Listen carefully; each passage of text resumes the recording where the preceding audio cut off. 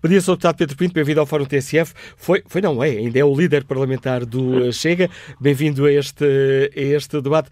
Sr. Deputado, com estes repetidos não é não do PSD à Chega, um, um, um, não é não repetido aqui logo de forma frontal na abertura do Fórum TSF pelo secretário-geral do PSD, Hugo Soares, faz sentido o Chega continuar a manter este apelo para um entendimento com o PSD? Olá, bom dia Manuel Cássio, bom dia a todos os ouvintes do, do Fórum TFF. Bom, a grande verdade é que continua a fazer sentido. Nós temos que analisar os resultados do passado domingo. E o passado domingo deu uma vitória ao PSD com 77 deputados, tantos quanto o Partido Socialista.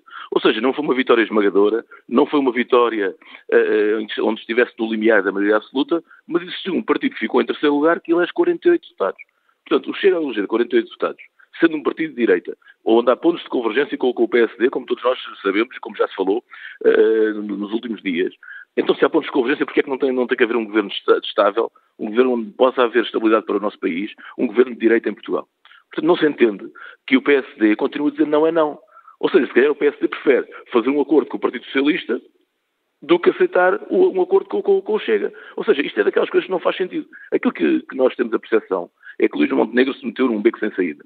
Luís Montenegro, durante a campanha eleitoral, nunca acreditou que o Chega pudesse, pudesse ter esta, esta votação uh, e, agora, e agora está num beco sem saída. Porque nós, se nos recordarmos dos últimos dias de campanha eleitoral, aquilo que Luís Montenegro fez foi apelar aos votos dos eleitores no Chega.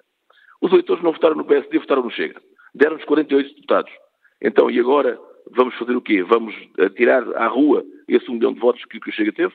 Não. Estas pessoas votaram no Chega porque querem um projeto alternativo, um projeto diferente. Querem um projeto de direita deram uma maioria de direita ou, ou, ou em Portugal. O PSD continua a dizer que não é não.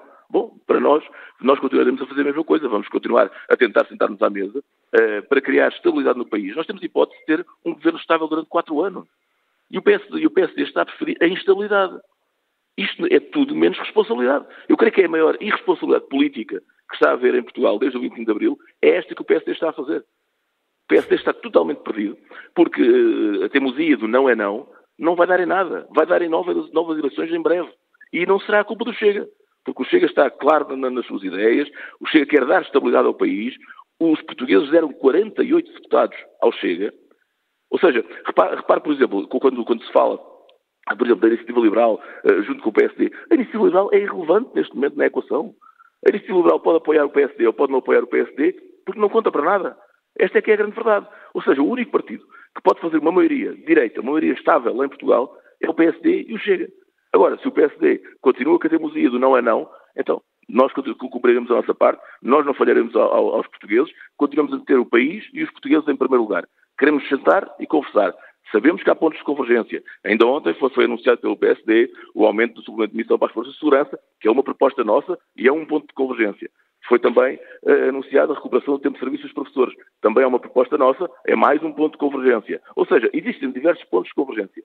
Se não fosse uma teimosia reiterada uh, do, do, PSD, quer de Luís Montenegro, quer hoje do Hugo Soares, quer, quer ontem de António Leitão Amaro, quer de vários notáveis do PSD, eh, isso resolvia-se. Aliás, até posso, posso dizer também falamos com diversos deputados que foram eleitos para este novo Parlamento, falamos, e, e, há muitos deles, há muitos deles que dizem que tem que haver um acordo do PSD com o Chega. Agora, Basta Luís Montenegro uh, querer sentar-nos à mesa e conversar. Vamos ver quais são os pontos de convergência. Podemos ir por aqui? Podemos. Não podemos? Não podemos. Agora, há pontos de convergência, há hipótese de conversar, só não haverá um governo de estabilidade para quatro anos se o PSD não quiser. Acabou de nos dizer que o Chega falou com muitos deputados do PSD, deputados eleitos agora, e que eles defendiam esse acordo? Muitos, muitos deles, muitos deles, variedíssimos mesmo. Eleitos por diversos círculos eleitorais, com quem, com quem temos falado, temos uma boa relação, felizmente, com a grande maioria dos deputados do PSD, e houve muitos deles que estavam muito, muito dispostos a dizer que sim, que um acordo com o PSD chega. Aliás, vamos, vamos, vamos ser sérios. Até Gonçalo Câmara Pereira, do PPM, veio dizer isso ontem. Ou seja, qualquer, qualquer português responsável, inteligente, de direita, diz assim: nós temos aqui uma maioria de direita. Como é que não a vamos aproveitar? Isto não cabe na cabeça de ninguém. Não há ninguém que perceba. Não há nenhum votante, ou muito poucos votantes, no PSD percebam o que é que aconteceu. Ou seja, porque é que, porque é que Luís Montenegro continua esta teimosia? Então se há uma Mas... maioria direita, há uma maioria direita, não vamos aproveitar. Mas de que dados é que estamos a falar, eh, Pedro Pinto? Não lhe vou, por uma questão de ética, não lhe vou dizer os nomes, obviamente. Eh, foram conversas privadas, mas para particulares, mas posso dizer que, que isso aconteceu. Agora, o que está aqui em causa nem é isso. O que está aqui é em causa que... é Não, mas já agora deixa, deixa esclarecer esta questão, porque essa questão é, é importante. Não, não, é, essa questão é importante. É, é que uh, diz-nos que houve essas conversas, foram conversas uh, particulares, onde deputados do PSD defendiam esse entendimento com o Chega. Mas o que é certo é que, à exceção, é que, à exceção não, da bancada do PSD, não se ouviu sequer uma voz publicamente dizer que o PSD devia repensar a estratégia, dizer não, não, não ou não ao Chega. Se calhar foi por todos os deputados um por um, se calhar há alguns que vão, que vão, dizer, vão dizer isso e vão dizer até para, para não dizer os nomes. É? Isso, isso, é perfeitamente normal que isso, que isso aconteça. Agora, a grande, a grande realidade é esta, e é isto que nós temos que fazer para fazer e perceber, que os portugueses têm que perceber isto. Há hipótese de fazer um governo estável, há hipótese, há hipótese de dar estabilidade ao país, o país precisa de estabilidade, não precisa de novas eleições, e essas hipóteses estão para quatro anos que é um governo entre o PSD e o Chega. Um governo de ampla e larga maioria.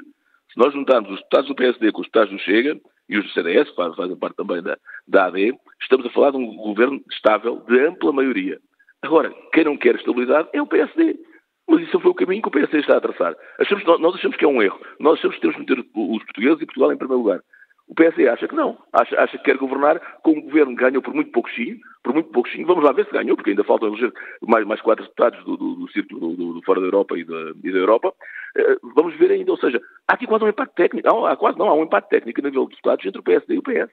Tem ambos 77 deputados. Então, porque, se temos na mão uma maioria, não temos de dar estabilidade ao país? E o Chega gostaria Ninguém que esses deputados que em privado defendem o entendimento tivessem a coragem de levantar a voz e dizer publicamente nós defendemos um acordo com o Chega?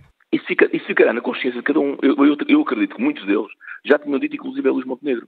Não tenho mesmo dúvidas, já tinham dito a Luís Montenegro. O Luís Montenegro meteu-se antes da campanha eleitoral e depois foi, foi durante a campanha eleitoral, fazendo sempre a mesma coisa, meteu-se num, num beco sem saída. Quero não é não, não é não.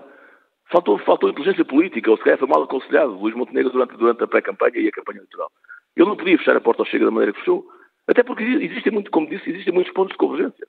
Uh, ou seja, agora, se nós temos uma maioria direita na mão, isto, eu, eu, eu, falo, até falo muitas vezes até contra o nosso eleitorado, porque o nosso eleitorado, há muitos, há muitos deles que não queriam nada com o PSD, mas nós temos que meter, em primeiro lugar, o país. Nós temos os fundos do PRR até 2026. Ou seja, temos uma série de responsabilidades que existem no país e o Chega está a ser responsável. Quem não está a ser responsável é o PSD. Isto, e atenção que isto não é, não é, ter um acordo a todo custo. Isto é ter um acordo onde nos sentamos à mesa e, diz, e, e, vamos dizer que pontos de convergência é que há. Aqui, aqui e aqui. Nós não vamos fazer um acordo que, onde, onde, não, onde, não, se possa aumentar as pensões. Nunca faremos um acordo ou que se corte as pensões. Nunca faremos um acordo assim. Nunca faremos um acordo onde não, onde não, não, se fala de imigração e, e de um controle de imigração. Nunca faremos um acordo onde não haja ocupação de serviços de professores ou as, as forças de segurança com, com o suplemento de missão. Nunca faremos um acordo assim. Agora, há aqui pontos de convergência, há pontos onde podemos fazer o um acordo. E vamos desperdiçar esta maioria absoluta. O que é certo é que cabe, todas as vozes autorizadas do não, P... cabe, não cabe na cabeça de ninguém. Todas as vozes autorizadas do PSD que têm falado têm dito que esta estratégia é para continuar. Estes apelos do, deixe-me só, quase aqui, quase em jeito de provocação, estes apelos sucessivos do Chega são de facto dirigidos ao PSD ou são dirigidos ao eleitorado já a pensar a próximas eleições, dizer não, nós quisemos, não, não, eles é que não quiseram. Não, não, não, não. Aquilo que nós, aquilo que nós estamos a fazer é que queremos mesmo um governo estável. Queremos a estabilidade de Portugal. Isto, é, isto, chama, isto, isto não, não, se chama eleitoralismo, não se chama nada. Chama-se responsabilidade. O que os políticos têm de ter neste momento em Portugal é responsabilidade. Se reparar, levantam-se vozes do PSD contra este acordo, mas também se levantam vozes do PS contra este acordo. Então porquê é que as vozes do PS também se levantam contra este acordo? Quer dizer que PS e PSD uh, pensam mais ou menos da mesma maneira. Ou seja, eu estou com medo de todos do acordo, mas porquê é estão com medo do acordo? Isto é um acordo sério, é um acordo responsável. É isso que nós temos que pensar no país. Nós, mais, mais que os votos, temos que pensar no país, temos que pensar nos portugueses, na responsabilidade que temos uh, e que o voto dos portugueses nos deu. Agora, nós não podemos assinar um acordo a todo custo ou uma, uma folha de papel em branco e assinamos por baixo. Nós temos que respeitar também o um milhão de portugueses, mais de um milhão de portugueses, que votaram no Chega. Eu acho que o PSD não está a respeitar esses portugueses, não, não percebeu nada do que aconteceu no domingo em Portugal, porque quem retirou a maioria absoluta ao Partido Socialista não foi o PSD. Quem retirou a maioria absoluta ao Partido Socialista foi o Chega. Agora, se o PSD não percebe isso, então o PSD está no caminho totalmente errado e não está no, no, no caminho certo para um dia voltar a ser um grande partido. Neste momento existem três grandes partidos em Portugal e isso é, é claro, é claro. PSD, PS e o Chega. Quem não quiser perceber isso, então é que não percebe nada. Agradeço ao líder parlamentar do uh, Chega, deputado Pedro uh, Pinto.